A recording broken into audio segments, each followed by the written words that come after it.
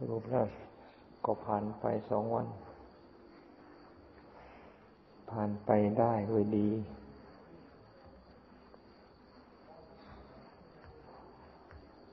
ทำอะไร ทำสิ่งนั้นให้ดีที่สุด ระหว่างทำก็สบายใจ ทำแล้วคิดถึงงานที่ทำผ่านไปแล้วก็สบายใจ ทำอะไรทำไม่ดี ระหว่างทำก็ไม่สบายใจถึงสิ่งที่ทำนั่นนั่นผ่านไปแล้ว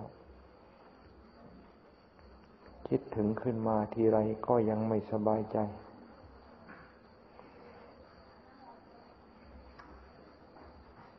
พระพุทธเจ้าท่านจึงทรงสอนให้ จะทำอะไรทำสิ่งนั้นให้ดีที่สุด ระหว่างทำก็มีความสุขทำสิ่งนั้นๆ ผ่านไปแล้วระลึกถึงคิดถึง ก็ยังมีความสุขทั้งทั้งที่การกระทำนั้นๆ ผ่านไปแล้ว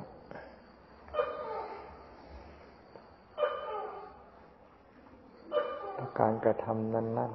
ๆ เป็นการกระทำที่ไม่ใครจะถูกต้อง ไม่ใครจะดีงามทำไปแล้วบางทีผ่านไปตั้ง หลายหลายวันเดือนสองเดือนปีหนึ่ง คิดถึงการกระทำนั้นก็ยังไม่สบายใจ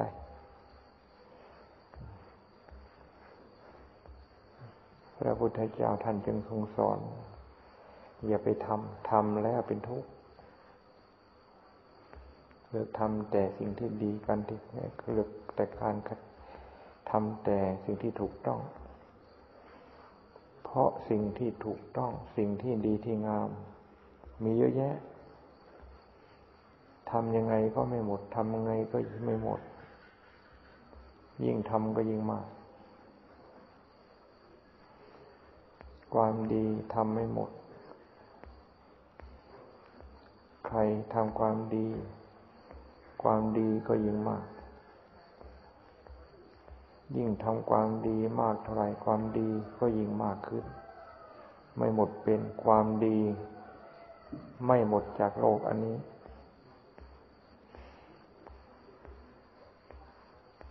ความไม่ดีก็เช่นเดียวกัน ใครจะทำความไม่ดี ใครจะทำความไม่ดี ต้องการในความไม่ดีนี่มันหมดไปเสียที ยิ่งทำมากเท่าไรความไม่ดียิ่งเพิ่มขึ้น ยิ่งทำไม่ดีเท่าไรบาปก็ยิ่งเพิ่มขึ้น ในที่สุด นรกก็เกิดขึ้นมีขึ้นในหัวใจ ทั้งๆทที่ยังไม่ทันตาย ตายแล้วไม่ต้องพูดถึงดอก แต่ยังไม่ทันตายมันก็เป็นแล้ว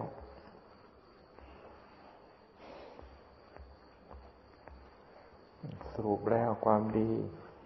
ทำให้มาก ความชั่วอย่าทำเสียเลยดีกว่าทำแล้ว ความดีทำแล้วอยู่เป็นสุขทำความไม่ดีทำแล้วนำความเดือดร้อนมาให้ อันนี้เป็นสัจธรรม เป็นความจริงตลอดกาล แล้วสัจธรรมอันนี้ไม่ต้องมีพระพุทธเจ้านำมาตรัส พระพุทธเจ้าจะนำมาตัดหรือไม่นำมาตัด คนทำความดี ก็เป็นคนดี ใครทำความชั่ว ปรารถนาเป็นคนดีสักขนาดไหนเพียงไรก็ช่าง มันก็ต้องกลายเป็นคนชั่วจนได้ ทั้งทั้งที่ไม่ปรารถนาให้ชาวบ้าน ไม่ปรารให้เขามองว่าเป็นคนชั่ว ไม่ปรารถนาเป็นคนชั่ว แต่มันก็เป็น เพราะการกระทำของเจ้าของ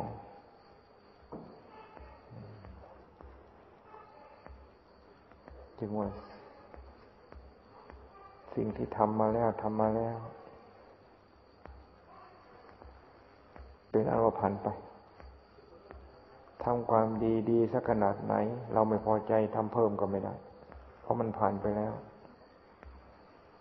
สิ่งไม่ดีไม่ดีเราเห็นว่าไม่ถูกต้องไม่ดีไม่งาม จะทำแก้ก็ไม่ได้ เพราะมันผ่านไปแล้ว การเวลาผ่านไปแล้ว สิ่งที่ผ่านไปแล้วให้เป็นอันเป็นอันว่าผ่านไป และพระพุทธเจ้าท่านก็ทรงตรัสไว้ สิ่งที่ผ่านไปแล้วก็ให้ผ่านไปแล้ว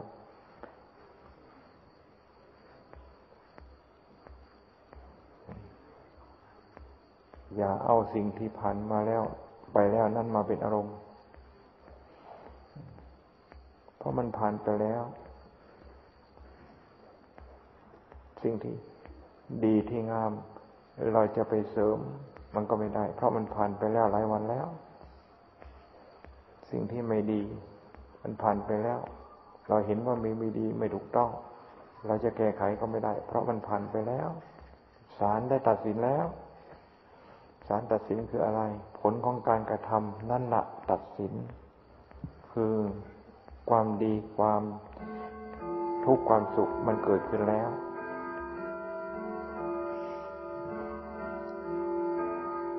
ผ่านไปแล้วให้ผ่านไป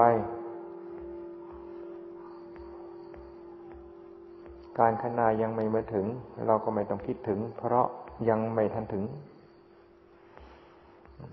คิดถึงการขณาคิดถึงมันก็ไม่สำเร็จประโยชน์อะไร เพราะ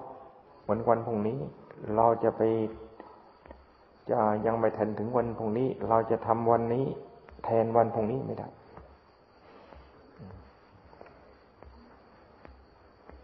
มันไม่เป็นเหมือนกันมันไม่เป็นถึงถึงจะถ้าจะมีการทำได้ มันก็เป็นการชดเชยกัน แต่ที่ชดเชยนั้นก็เป็นการทำอันนี้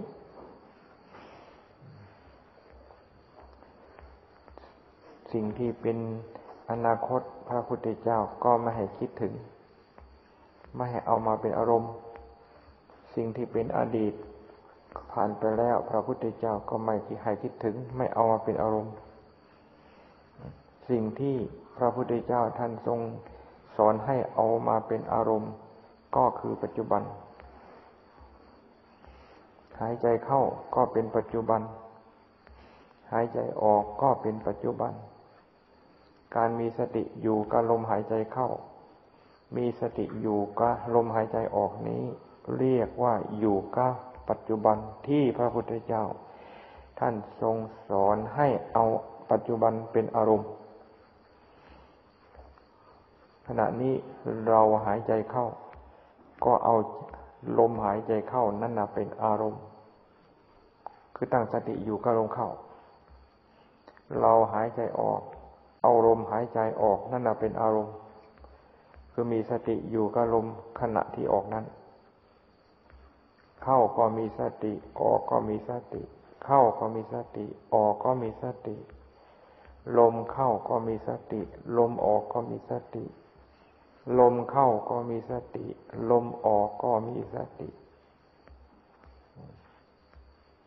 ลมก็อารมณ์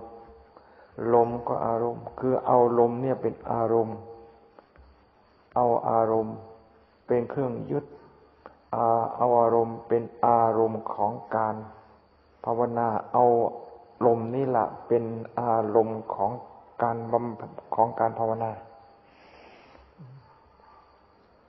ทำใจของเราให้อยู่กับปัจจุบัน แน่วแน่อยู่กับลมสูดเข้า แน่วแน่อยู่กับลมที่ระบายออกไป สูดเข้าระบายออก สูดเข้าระบายออก สูดเข้าระบายออก สูดเข้าระบายออก สูดเข้าระบายออก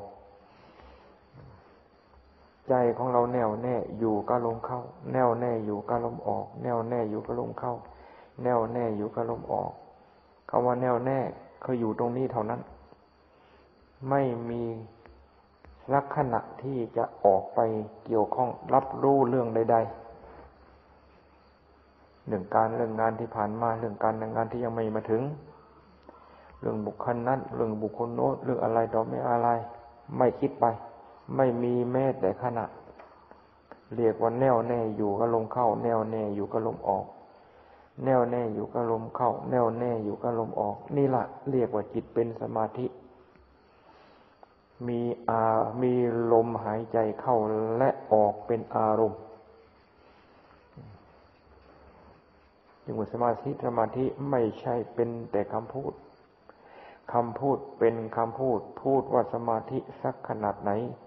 เพียงไรก็ช่าง แต่ใจมันเลยเลื่อนลอย มันก็ไม่เป็นสมาธิให้ เหมือนกับคำพูดที่ว่า รับประทานอาหาร รับประทานอาหาร รับประทานอาหารอร่อยจริง ๆ รับประทานอาหารอิ่มอิ่มอิ่มแต่เราไม่ได้กินอาหาร เราไม่ได้กินข้าวนี่ มันจะอิ่มอย่างที่เราพูดว่าอิ่มไม่ได้ มันจะอิ่มอริดอร่อยอย่างที่เราพูดว่าอริดอร่อยไม่ได้ จิตเป็นสมาธิ ไม่ใช่ผู้ไม่ใช่เป็นสมาธิ เพราะคำพูดเป็นสมาธิเกิดเป็นสมาธิ เพราะการกระทำพอ มีความพยายามพอ ลมหายใจเข้าก็พยายามทำสติจดจ่ออยู่กับลมหายใจเข้าจริง ๆ ลมหายใจออกก็ทำสติให้แน่วแน่อยู่กับลมหายใจออกจริง ๆ ให้อยู่ตรงนี้ ให้อยู่ตรงนี้ไม่ไปไหน ใจของเราควรในการที่จะบังคับ เราก็ต้องบังคับ ใจของเราควรในการที่จะบังคับ เราหักปล่อยไป ปล่อยไปตามสบาย ปล่อยไปตามสบาย มันก็เหมือนกันน้ำไม่มีคันนา ไม่มีเขื่อนกั้นใจของเราก็เช่นเดียวกัน ถ้าหากว่าปล่อยไปตามสบาย ปล่อยไปตามสบายใจใจของเราควรที่จะบังคับกลับไปปล่อยไป มันก็ไหลไปตามกระแส กระแสที่เคยเกี่ยวข้อง กระแสที่เคยไป กระแสที่เคยเกี่ยวข้อง เคยผูกพัน น้ำก็เช่นเดียวกัน ไม่มีเขื่อนกั้นไม่มีทำนบนี่ต่ำสุดอยู่ตรงไหน น้ำก็ไปอยู่ตรงนั้น ใจของเราก็เช่นเดียวกัน นี่จึงมีความจำเป็นอย่างยิ่งที่จะต้องอาศัยธรรมนี่ คือสมาธิธรรม เป็นเขื่อนเป็นอ่ากำเป็นเขื่อนเป็นธรรมนบที่จะกันจิตกันใจของเรา ไม่ให้ไหลไปตามสู่กระแส กระแสของของโลก ไม่ให้ไหลไปสู่กระแสนั้นนั้น ต้องอาศัยสติธรรมนี่อาศัยความพยายาม ความเพียรธรรมนี่อาศัยสติธรรม มีสติมาก มีความเพียรมีความพยายามในการที่จะทำสติให้ยิ่ง นี่ ในที่สุดในเมื่อสติของเราก็มีกำลังพอ ความความพยายามความเพียรของเราก็มีความพยายามพอ เหมือนกับการการตั้งเขื่อนกั้นเขื่อน มีความพยายามที่จะกั้น มีความพยายามที่จะกั้น มีความพยายามที่จะกั้น ด้วยเครื่องไม้เครื่องมือที่ทันสมัย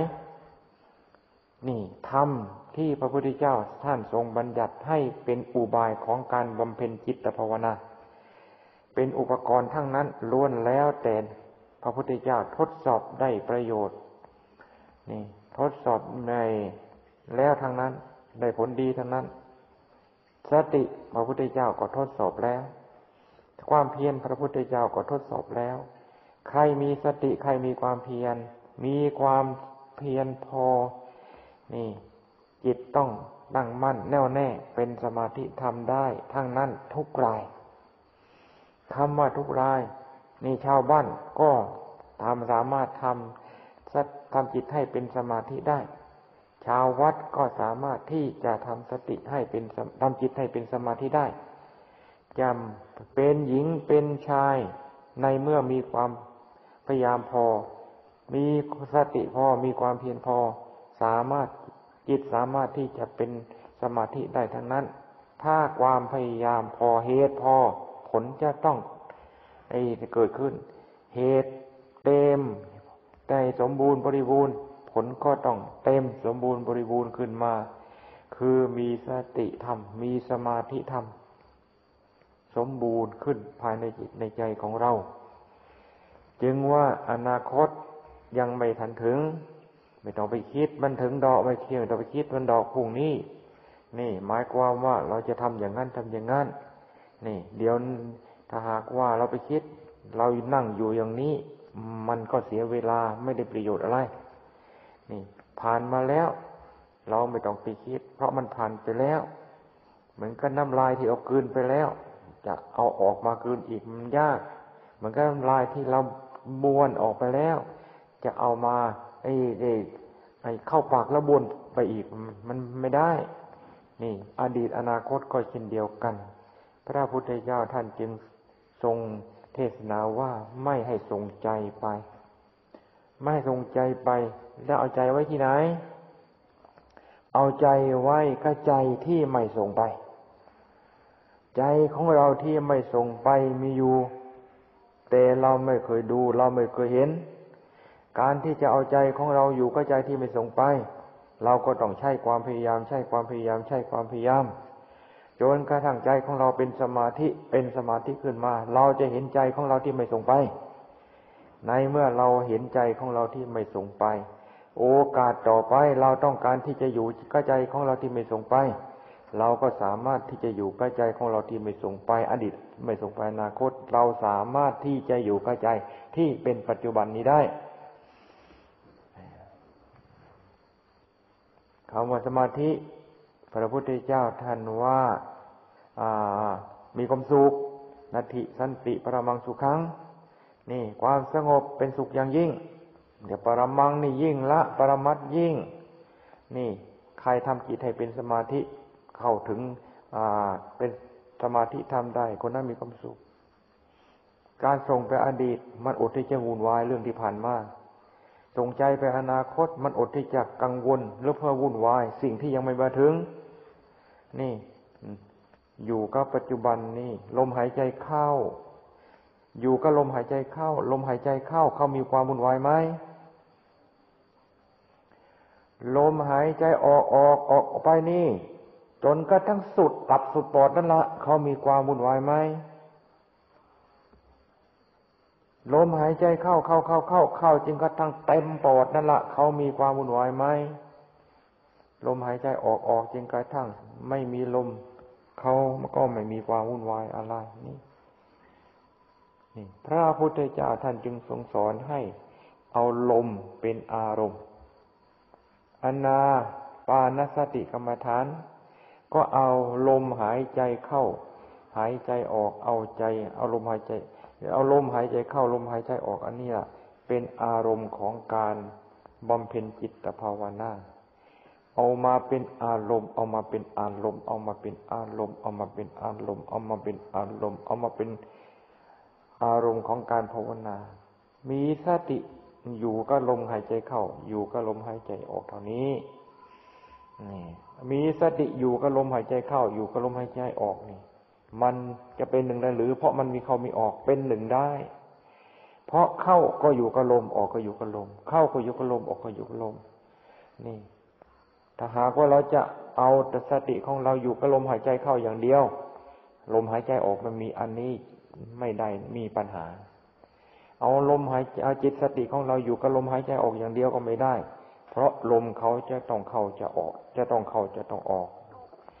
จึงว่าในเมื่อธรรมชาติความจริงเป็นอย่างนี้ พระพุทธเจ้าท่านจึงให้มีสติรู้ทั้งลมหายใจเข้าให้ชัด มีสติทั้งรู้ให้รู้ลมหายใจออกให้ชัดแล้วก็ให้แน่วแน่อยู่ในขณะลมหายใจเข้า แน่วแน่อยู่เฉพาะลมหายใจเข้า แล้วก็แนมแน่วแน่อยู่เฉพาะขณะลมหายใจออก เท่านี้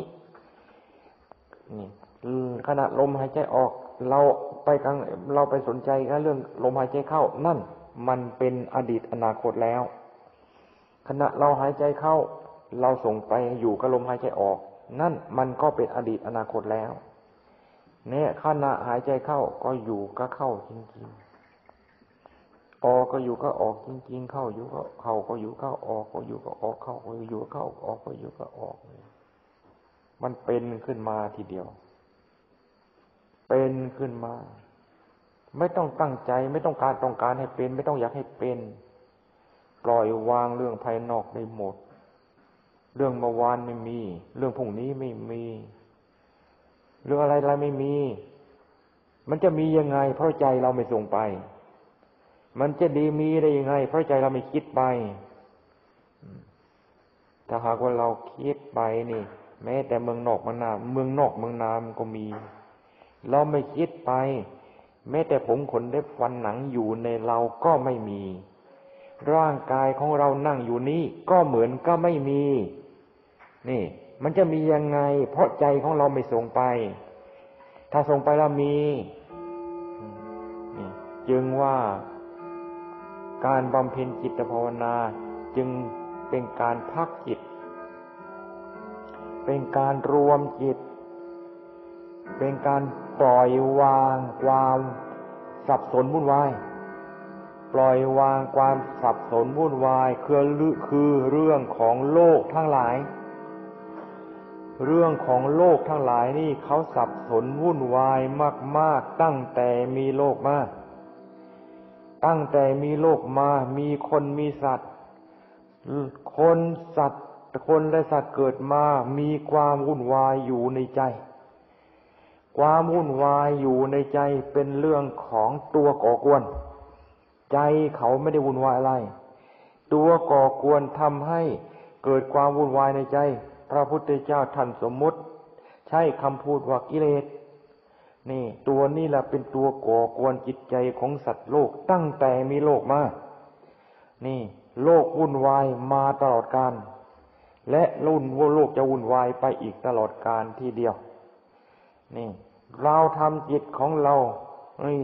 กีออกไปเกี่ยวข้องกับโลกออกไป เราปล่อยใจให้ไปเกี่ยวข้องกับโลก ปล่อยใจให้ไปเกี่ยวข้องกับเรื่องของโลก นี่ก็ไปเจอแต่ความวุ่นวาย ไปเจอแต่ความวุ่นวาย ไปสัมผัสกับว่าความวุ่นวาย มันก็วุ่นวาย ไปเกี่ยวข้องกับอะไรมันก็เป็นอย่างที่เราไปเกี่ยวข้องนั่นละพระพุทธเจ้าท่านยังเวเซวติดาดิตาดิโซ จะไปเกี่ยวข้องอะไร เหมือนกับจุดที่เราไปเกี่ยวข้องนั้น จึงไปเกี่ยวข้องกับใครคนนั่นเป็นยังไงเราจะต้องต้องเป็นลักษณะนั้นลักษณะที่เขาเป็นที่เดียว นี่ จึงว่าตัดการเกี่ยวข้องทั้งหมด เรียกว่าตัดกระแสโลกไม่ให้ใจของเราหลุดหลุดไหลไปสู่กระแส ให้อยู่ก็ลมอยู่ก็ลม อยู่ก็ลม อยู่ก็ลม อยู่ก็ลม อยู่ก็ลมหายใจเข้าก็อยู่ก็ขณะหายใจเข้า หายใจออกก็อยู่กับลมหายใจออกหายใจเข้า อยู่กับลมหายใจเข้าหายใจออกอยู่กับลมหายใจออก แล้วมันจะมีอะไร พรุ่งนี้มันมี แต่เราไม่ส่งไปเกี่ยวข้องพรุ่งนี้ไม่เล่นมายุกไม่ไม่เล่นมาชนใจเรา ไม่เล่นมากวนใจเรา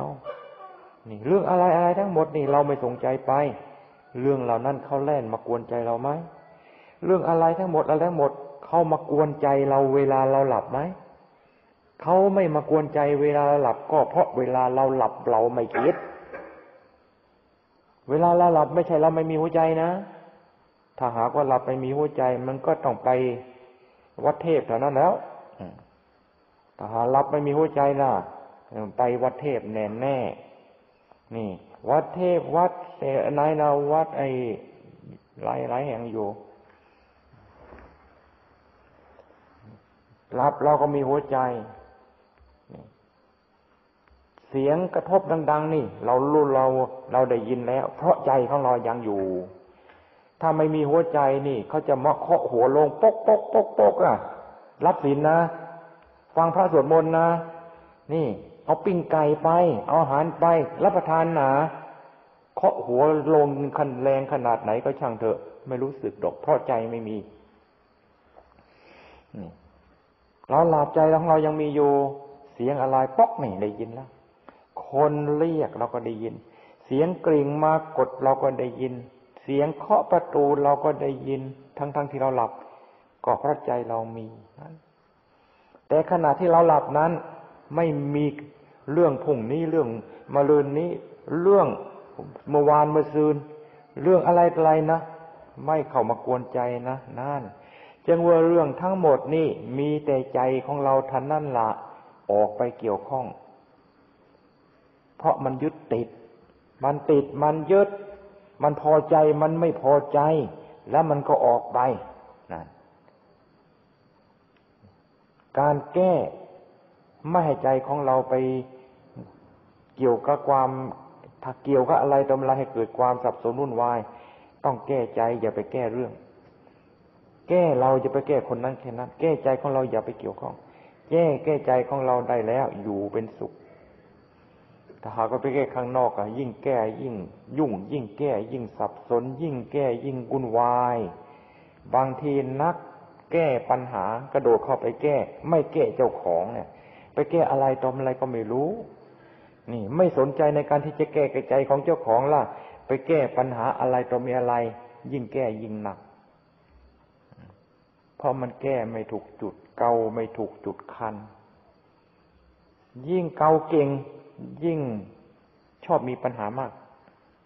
ถ้าหาว่าเกาไม่ถูกจุดคำสอนของพระพุทธเจ้า เป็นคำเป็นคำสอนแก้ปัญหาคำธรรมะคำสอนพุทธเจ้านี่ เป็นการพูดถึงคดในถ้าหากว่า เกาก็เป็นเกาที่ถูกจุดที่สุด เพราะทำทั้งหลายดีไม่ดีทุกแลสุขเกิดจากใจทั้งนั้น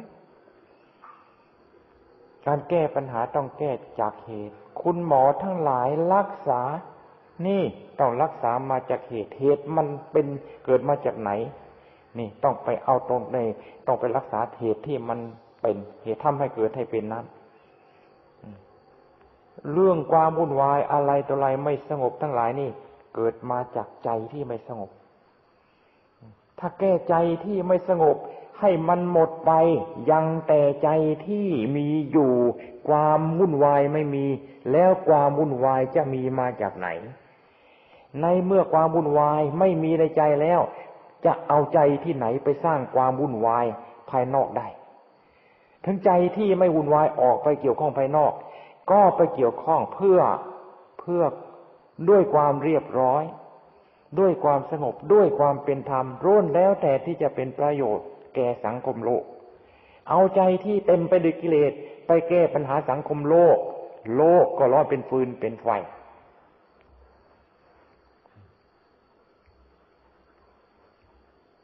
นักแก้ปัญหาต้องสนใจในการแก้ปัญหาใจของเจ้าของเจ้าก่อน นักแก้ปัญหาไม่สนใจในการแก้ปัญหาของใจของเจ้าของ สนใจแต่แก้ปัญหาข้างนอก ยิ่งแก้ ก็ยิ่งปัญหายิ่งมาก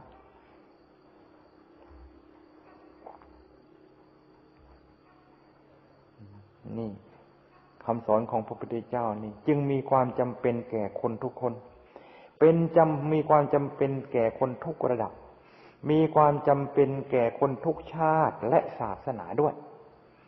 ทุกชาติทุกศาสนามีความจำเป็นทั้งนั้น ถ้าหากว่าไม่พาการแก้จิตแก้ใจของเจ้าของแล้วคนนั้นจะเป็นคนมีปัญหาอย่างแน่นอน คนไหนสนใจในการแก้จิตแก้ใจของเจ้าของ แก้ปัญหาใจของเจ้าของให้ปัญหาใจไม่มี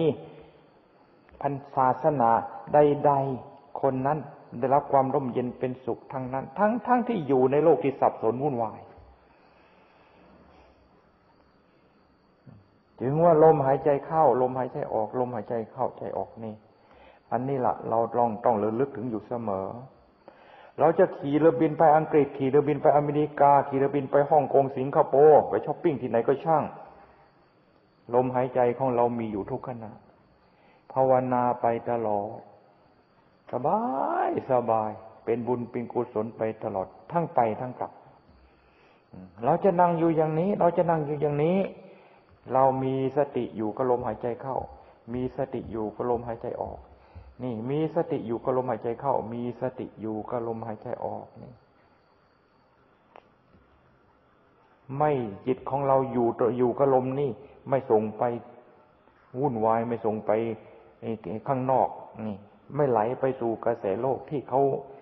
บางทีจะวันร้อนเป็นพื้นเป็นไฟมันอาจจะจะยังจะพูดไปอย่างนั้นมากกว่า นี่แล้วเราจะสบายใจได้ยังไง บางทีความเคยชินนะ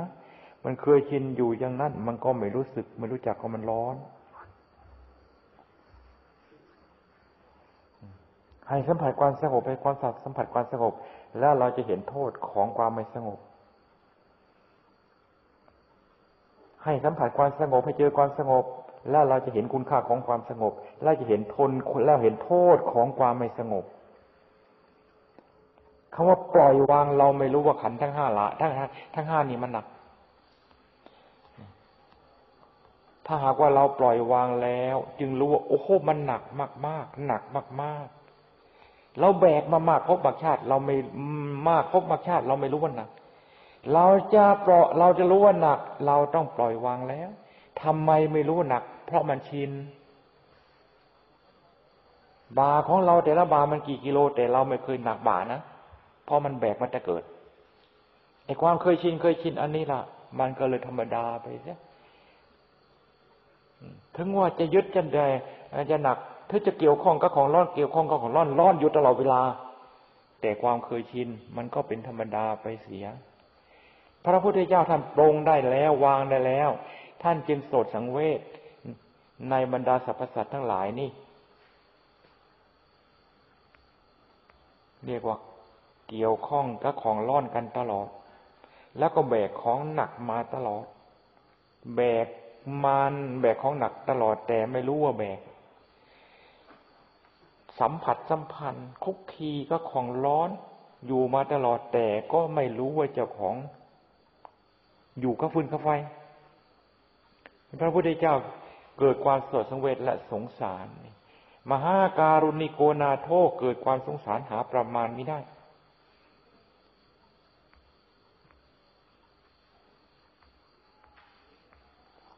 จึงคิดจึงมีการแสดงพระธรรมเทศนาโปรดเวนยสัตว์ เพื่อเป็นการปลดเปลื้องภาระหนักปกเปื้องของหนักที่แบกกันมากพบมากชาตินี้ให้หลุดให้หมดให้สิ้น ให้หลุดออกจากของร่อนทั้งหลาย พ้นจากของร่อนทั้งหลาย นี่ พระพุทธเจ้าท่านมุ่ง นี่ ในจุดนี้ ในการประกาศพระธรรมเทศนา เดี๋ยวนี้เรามาดูดูแล้ว ไม่ว่าชาวบ้านหรือชาววัดนี่จะสนใจจริง ๆ จัง ๆ ในการที่จะให้หลุดจากของร้อนกระแสโลก แล้วก็ปลดเปลื้องของหนักนี่ รู้สึกว่ามีเปอร์เซ็นต์ต่ำมาก นี่น่าเป็นอย่างนี้ล่ะ จึงว่าคำสอนพระพุทธเจ้าเป็นคาถาคาเป็นคำสอนทวนกระแส ทวนกระแสอยู่ตลอดเวลาทีเดียวคำสอนของศาสดาอื่นบางทีตามกระแสตามกระแส ตามกระแสนี่ไม่เหน็ดเหนื่อยในการที่จะทรงเอาไว้ซึ่งศาสนานั้น ทวนกระแสนี่นะนักนัก จึงว่าถ้าหากว่าเราเราชาวพุทธนี่ โดยเฉพาะอย่างยิ่งนักบวชนี่ ไม่จริงจังละ่ะ รักษาพระศาสนาพุทธเจ้าไม่ได้หรอก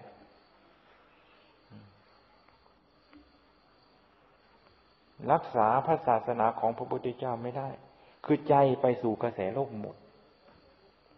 ถูกกระแสโลกดูดไปหมด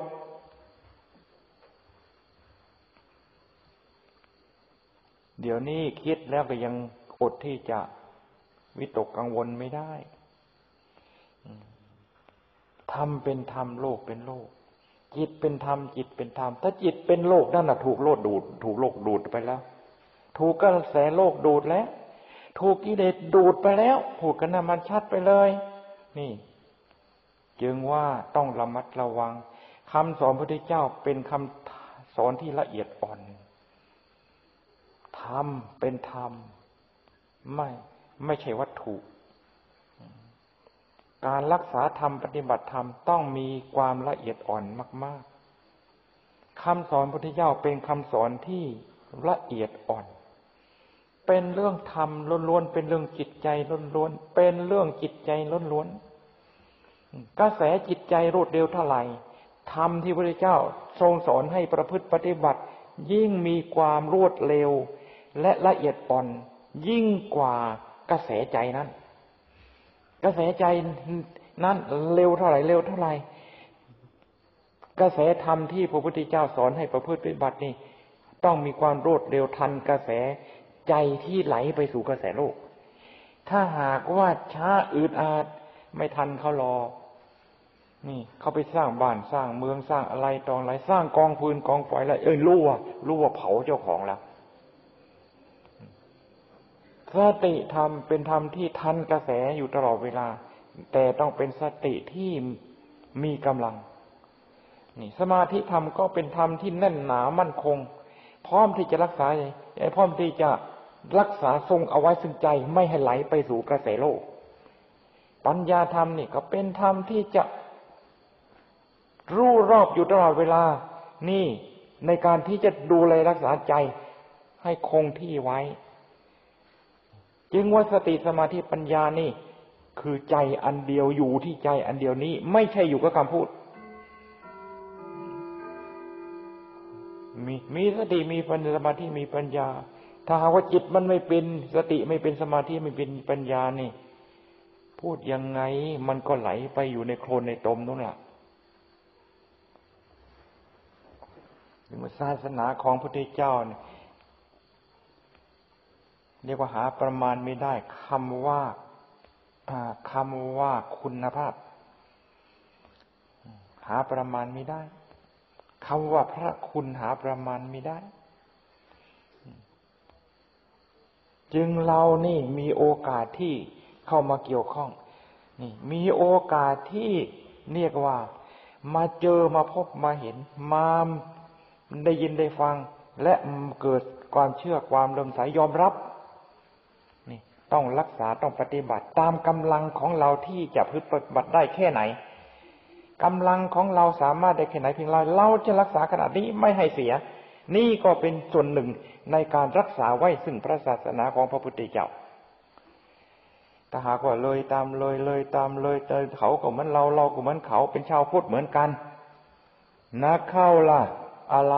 คุกตารางก็เต็มไปหมดนักเข้าอะไรกะลีโสพินีก็เต็มบ้านเต็มเมือง ขอโทษนะนี่